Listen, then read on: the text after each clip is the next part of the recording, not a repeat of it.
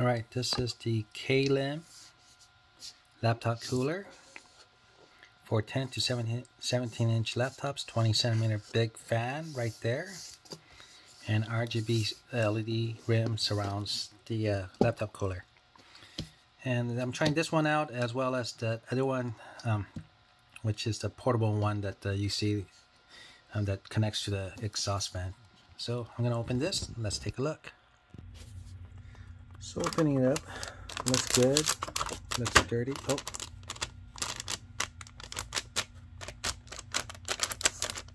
oh know, that's a metal grill and it's totally open as you can see. So let me take it out. Now this looks pretty nice. Inside you have cables.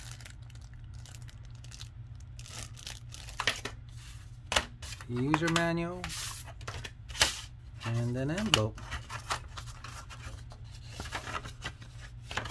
Hold on. So some information about the company and the people in charge, I guess.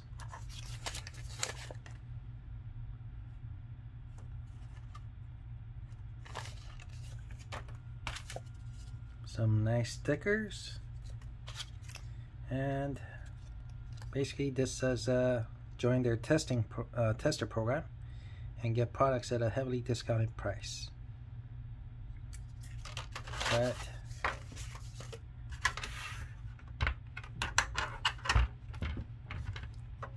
the, uh, the uh, RGB light area, it's not bad. The grill feels nice and sturdy, although you saw it pop inwards earlier, but does not seem to uh, be of any issue where it would affect it. Laptop holder so that uh, it doesn't fall out. And let me turn this around. Okay. Okay, so before I turn it on, you have your speed fan speed there. Light mode color mode DC in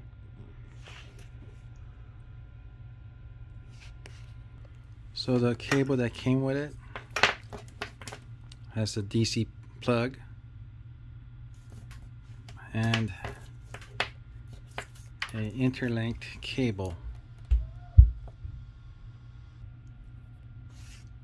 All right.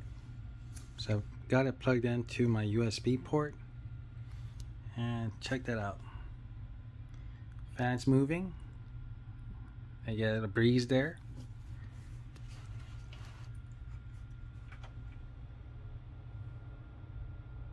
Barely audible noise. Fans moving fast max speed. I'm not sure how fast the fan moves at that speed. Light mode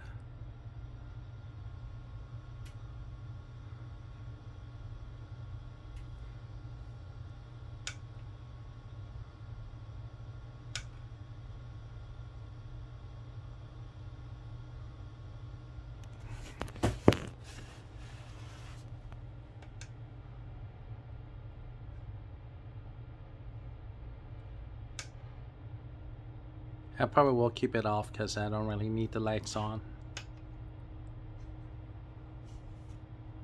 Color mode, I'm not sure. Let's turn it back on. Color mode.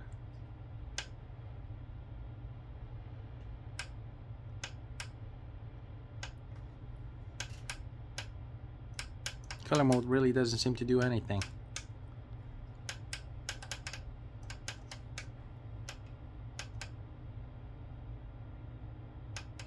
Okay, so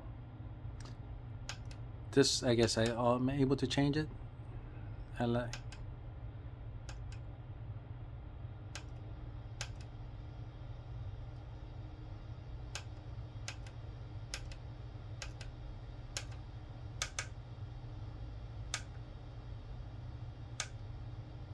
Alright, so as you can see, that's what it looks like.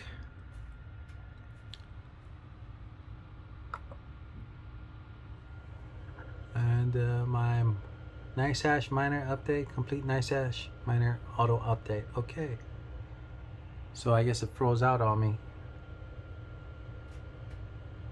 But there you go. Looking pretty good.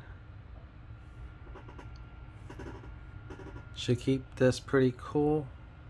But the first solution that I had using this fan just by itself and giving air underneath there worked pretty good because uh, the bottom had a nice cool airflow